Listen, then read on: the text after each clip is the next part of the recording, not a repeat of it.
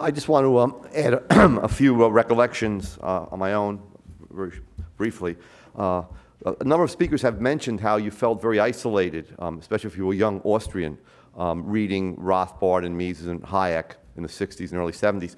Um, in my junior year in high school in the early 70s, I, um, I'm sorry, my junior year in college, after that year, I discovered Rothbard and, and, and then Mises and so on. And uh, so that summer, I began to um, read uh, voluminously uh, in the literature. So I, I had picked up um, at the local library a number of books, including America's Great Depression. And um, I was a very high achiever janitor that year, uh, that summer rather. Um, I worked uh, at, a, at, a, unit of AT&T, an engineering unit, and I would get all of my work done um, you know, by 2 o'clock. And then I would go sit in this, in this uh, little janitor's closet, little broom closet with a sort of a na naked yellow light bulb over my head, and I would be pouring through America's Great Depression. Well, I felt so alone. I mean, I, I was alone. I was in a closet with a book. Um, but I did meet Murray right after that, but fast forwarding to, to uh, I still hadn't met many young people, but fast forwarding to um, uh, the uh, South Royalton Conference, when I first stepped off the Amtrak train um, in a town that was near South Royalton, I, I can't remember which town it was now, um, I was met with uh, uh, someone who was supposed to pick me up, and it was Don Lavoie, and his hair was even longer than mine and shaggier, and his beard was shaggier, so I thought that was pretty cool. When I got to the town, I saw a, a young man who was there who was all dressed in black, including a black shirt, and he had a pompadour. And I said, well, we're not only going to have a magician entertain us, but also an Elvis impersonator.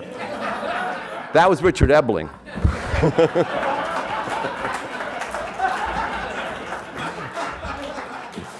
well, well, uh, well, Richard and I, um, we hit it off right away, and uh, we, were, we were, uh, went to get something to eat, and we were sitting with the eminent economist, um, uh, William H. Hutt, who a free market labor economist, taught and buried in South Africa, unfortunately. I mean, academically buried. I don't know if he's buried there now. Uh, who, but anyway, we're sitting there with him, and a wonderful man, great gentleman. And Ludwig Lachmann walked in, who also taught at South Africa. And uh, Richard, Richard will remember this. Um, he said, uh, Hutt said to us, you know, what's he doing there? And um, so we said, well, he's an Austrian. And, and, and um, Hutt said, no, he isn't. He's a Keynesian. Um, yeah, so, so, so, there, were, there were sort of divisions even, even back then. Um, but, oh, yeah, and one, one last uh, uh, little anecdote. When Murray um, had arrived, um, myself and a few others helped him with his baggage. But as, he, he, he was, he, uh, as, as we were helping him, Milton Friedman had pulled up. And, and Murray, you know, a very dark look came over his visage, and he said, you know, you know, what's he doing there? And I said, I don't know, but, but it turns out Ken Templeton, I think, was the one who invited him um, because he, he, wanted to play tennis with him. I later saw Milton Friedman playing tennis with Ken Templeton, who was vice president, I think, of, of the uh, Institute for Humane Studies. Um, Friedman was very spry and moved around the court pretty well. I remembered that.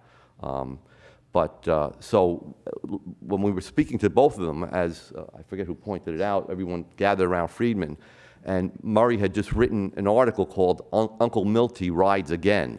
uh, in the Libertarian Forum, in which he called Milton F Friedman uh, an inflationist or uh, a monetary crank. How many times?